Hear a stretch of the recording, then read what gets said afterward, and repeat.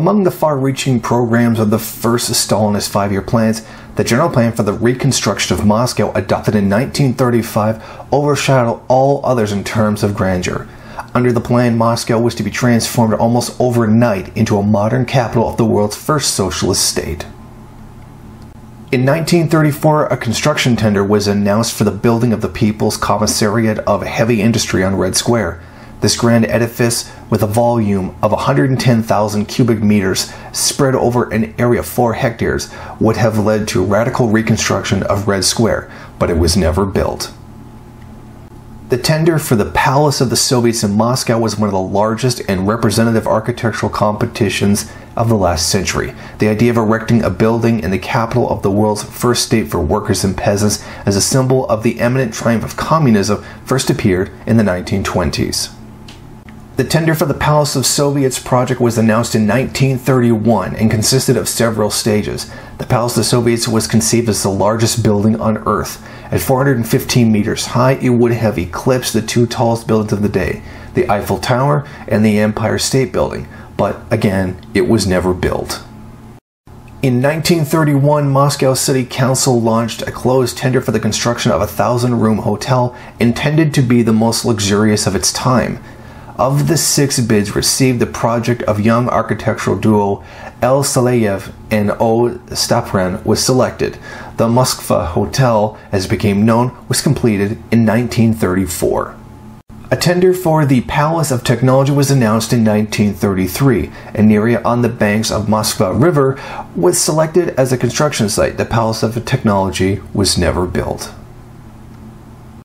The buildings of architect L. Rudnev are among the most prominent in Moscow. He led the design team on the project to build the high rise edifice of Moscow State University on Lenin, now Sparrow Hills, in 1953. His design project for Arbat Square, which was only partially implemented, reflects the architect's transformation from the gloomy splendor of buildings of the People's Commissariat of Defense of the 1930s to the buoyant pomposity characteristics of architecture of the 1940s and early 1950s.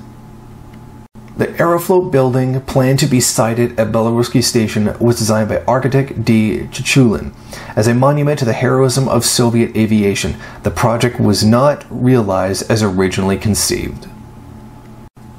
Dom Knigi, home of the book, is a typical example of the early 30s concept of a building as an architectural monument. In the 1920s, architect I. Gogoslov made a name for himself in the area of constructivism. The bids he submitted for the Palace of the Soviets and the People's Commissariat projects were highly original. Gogoslov distinguishing features are defined as symbolic romanticism. L. Pavlov, designer of the Hero's Arch, suggested setting his monument on Red Square. It was not built. V. Oltarzhevsky immersed himself in architectural theory and high rise construction methods. He paid particular attention to the manifold techniques of designing and engineering high risers. Unfortunately, his project was not implemented. In 1947, the Soviet government issued a decree on the construction of high rise buildings in Moscow. By the early 1950s, high rise buildings had been built on Lenin Hills, Smolensk Square, Lermontov Square, Komsomolskaya Square, Kutuzovsky Prospect, Kotelnicheskaya Embankment, and Vosstaniya Square. Only the construction of a 32 story administrative building in Zaryadye, slated as one of the main landmarks of the city's center skyline, was not complete. Behold what Moscow could have been if the projects of Stalin's architects had actually been realized. If you like this video and you'd like to see more of them, then head over to my Patreon page and show your support. Or you can go to the MRN bookstore and check out some of the latest books available. Don't forget to rate, comment, subscribe, and share on various social media.